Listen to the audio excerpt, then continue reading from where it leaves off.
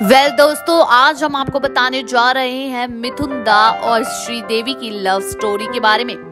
बॉलीवुड में मिथुन चक्रवर्ती का नाम एक एक्शन और रोमांटिक हीरो के रूप में दर्ज है।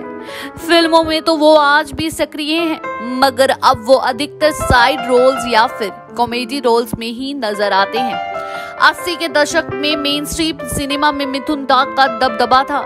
कई एक्ट्रेस संग उनके रोमांस के भी चर्चे थे। इसमें से एक नाम है श्रीदेवी का।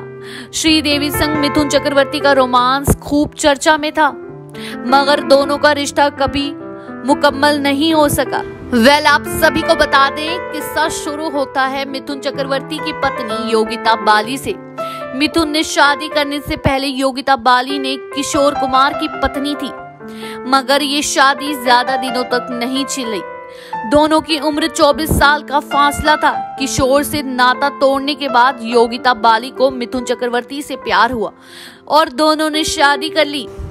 साल उन्नीस सौ उनासी में दोनों ने शादी की। इसके बाद तब तक सब कुछ ठीक चल रहा था, जब तक मिथुन चक्रवर्ती के जीवन में श्रीदेवी की एंट्री नहीं हुई थी।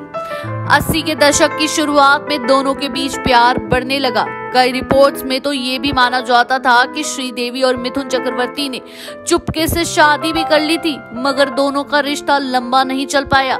वजह रही मिथुन चक्रवर्ती की पत्नी योगिता बाली। ये किसी भी कीमत पर मिथुन संग अपनी शादी तोड़ना नहीं चाहती थी। मिथुन की शादी की खबर सुनते ही योगिता बाली ने सुसाइड की कोशिश की थी। इसके बाद मिथुन ने श्रीदेवी का साथ छोड़ दिया था। चलिए अब बात करते हैं मिथुन की करियर की मिथुन चक्रवर्ती का जन्म। 16 जून उन्नीस सौ बानवे को हुआ था। उन्होंने 1976 में आई बंगाली फ़िल्म मृग्याप से अपने करियर की शुरुआत की। अपनी पहली ही फ़िल्म के लिए एक्टर को नेशनल अवार्ड से सम्मानित किया गया, मगर उन्हें शोहरत मिलनी शुरू हो गई।